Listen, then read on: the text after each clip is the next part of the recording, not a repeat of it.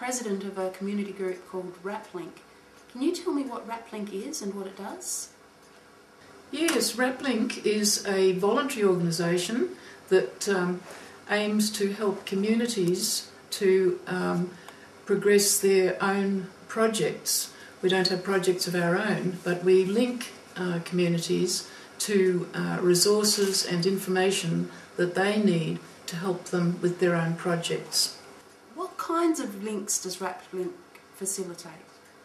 We um, link communities to other communities. An example of that would be uh, we linked uh, two towns in New South Wales, uh, Forbes and Broken Hill. Forbes was losing medical facilities, and Broken Hill uh, was, of course, losing mining, um, the mining industry up to a point. What other sorts of links?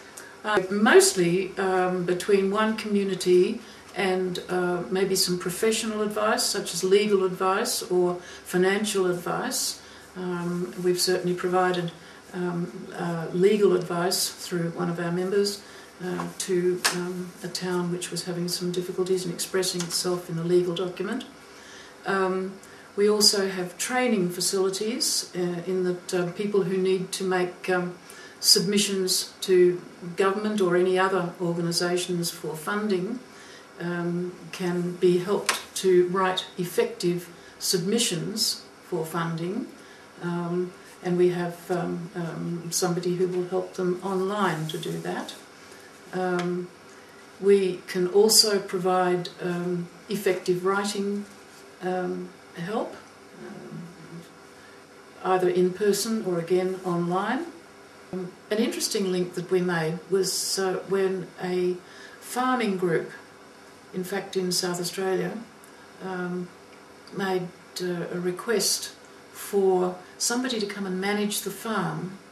Now, the farm was run by a, um, a person with a particular disability, and he needed to have a holiday, and his um, manager also needed to have a holiday, and uh, he had nobody to run the farm. And so an appeal was put out through our newsletter.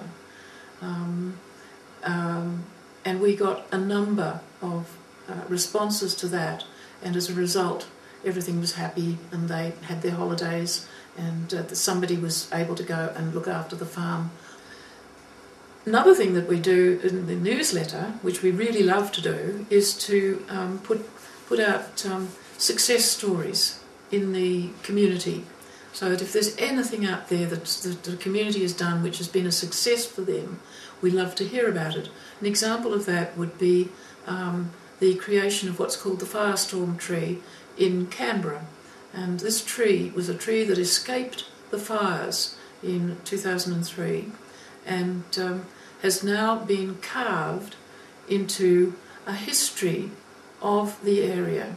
And um, the picture shows that the, the um, artist has sculpted the tree show from the very beginnings of Canberra and the settlement by the local Ngunnawal tribe, going up through the, the um, uh, settlement and industrialisation of the area, right through to the fires in um, 2003.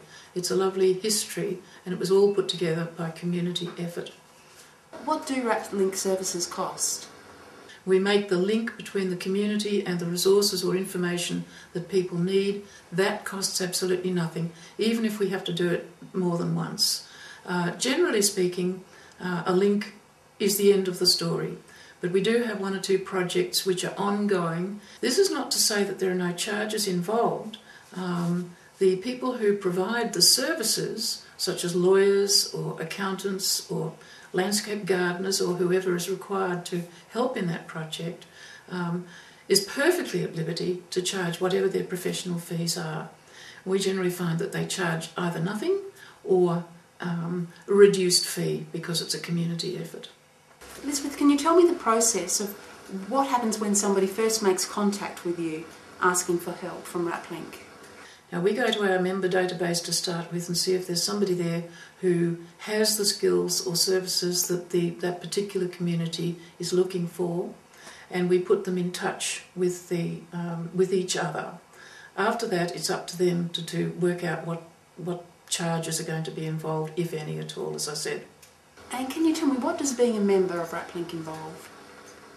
The name RAPLink itself stands for Regional Action Partnership Link. Um, and so we feel that we're partnering with the community to get some action in the overall region. It's a way of people being in touch with each other. Uh, it's, it's a feeling of doing something worthwhile for one's own community and the wider community. We function all over Australia, although we're based in Canberra, and in fact, we have even um, uh, had some overseas links as well.